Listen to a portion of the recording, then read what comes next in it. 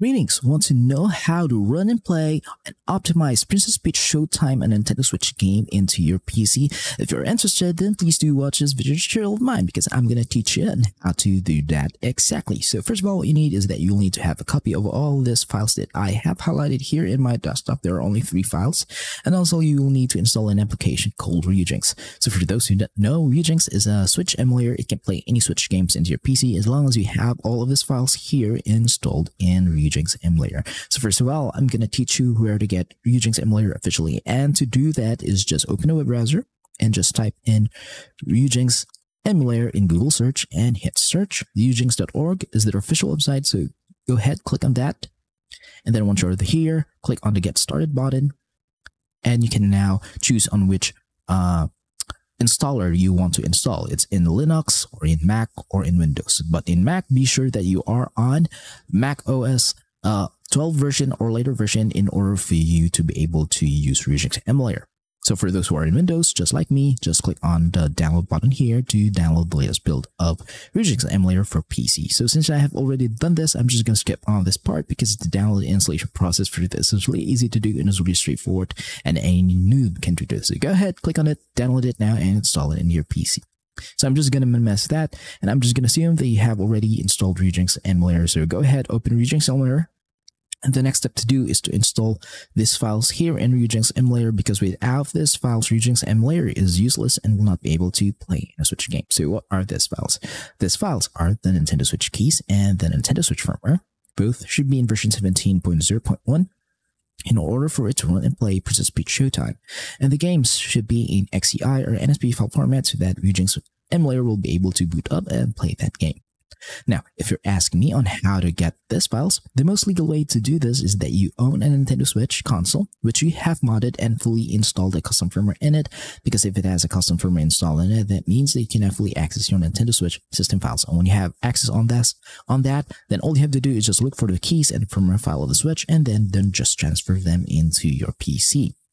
And in order for you to get the game, there's no other way around this, okay? So you should purchase the game legally. Own the physical copy of the game wherein you have purchased it from a physical store or from the eShop. And once you have done that, you can digitally back up that game into an XCI or an NSP file format. So be sure to dump your game. Now, for those who don't own a Switch but want to try out and play this game, but in order to get all of these files, all you have to do, guys, is just scan this QR code reader into your mobile phone so that you'll be redirected to the page wherein you can get a copy of all these files that I have highlighted here in my desktop. So once you're on the page, be sure to check out the entirety of the website and look for these files here and then get them into your PC Okay, and once you have them into your PC, just like mine in my desktop, we can now install them in Ryujinx. And I'm gonna assume that you have already have this file, so it's time to install them. So go ahead, open Ryujinx emulator, and then all you have to do is just click on File and open Ryujinx folder, locate System folder, and then open the keys zip file in the desktop. All you have to do is just click the product keys and title keys inside, drag and drop, copy and paste them into this folder here. And if this is your first installation, be sure to, uh, if this is your first installation, um, this folder, by the way, should be empty. So once done, close this. The next step is to install the firmware file of the switch. And to do that is just go to tools, goes to install firmware, install firmware from XCI or zip file, locate the firmware file. So click on this version from 17.0.1, hit open, and it will say that we'll have to install this version. Hit yes, and we'll say successfully installed here. Okay, so hit OK. You know the installation is successful because here down below you can see system version is in version 17.0.1 uh, and also your Switch games will be shown here and their game icons. If you see a game that doesn't have a game icon, that means that you're using an outdated firmware or an outdated key. So be sure to follow the QR code that put on the screen to get the latest files for Princess Peach Showtime. So the next step now is to optimize your Ryujinx emulator so that there'll be no drifting, no crashes, black screens, or graphical glitches into your playthrough. And to do this, just go to options and go to settings. And in this part, just be sure to pause the video and copy every setting that you see from here on out, okay? So these are my settings for the general tab. In the game directories, this is where in you will put your Switch games. It could be anywhere into your PC as long as you know where they are. So be sure to set them up here. Once you have done that, go to input. I have connected my uh, Switch Pro controller here. So you have an Xbox or PlayStation controller, you can connect them here and map them up according to your liking. And once you have connect them, uh, connected them into your PC, all you have to do is just change the dead zone settings for both the left and right sticks, which is here.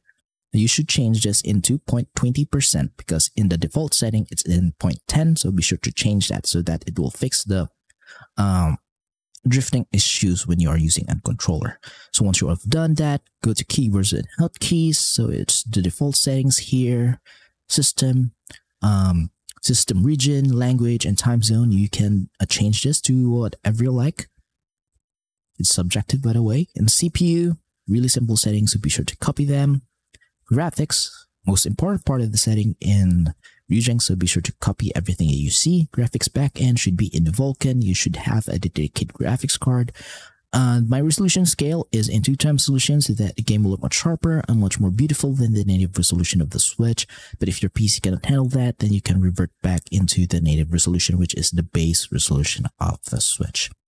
Now go to audio, really simple settings, so be sure to copy them. So if you want to play uh, um, online uh, in some games of the Switch, you can do that. You could just follow the settings here. Once you have done this, all you have to do is click apply and hit OK. And then congratulations, your Ryujinx emulator is now fully optimized to run and play any Switch games into your PC, such as Princess Peach Showtime. So, a little a little bit of a disclaimer, I will not be able to show you guys gameplay of this game because we all know how strict Nintendo is and they have shown that they are strict on this kind of content, especially um, the current events that are occurring that uh, that have occurred. I mean, is that they have um, deleted the existence of Yuzu emulator into the internet and sued them, and then Yuzu emulator just settled uh, to this and all of their download links has now been removed. So I hope you guys do understand this why I can show you in a gameplay to save my channel from being taken down from Nintendo or in YouTube. So I hope you guys do understand on that part. But as long as you have all, all the steps that I've shown you in this guys in in this guide guys you'll be able to get a files necessary for you to play Princess Peach Showtime into your Ryujinx emulator and it will be fully optimized to run it into your PC so if you have some questions regarding the installation process of this game then just leave a comment in the comment section below and I'll try my best to answer all of them as fast as I can.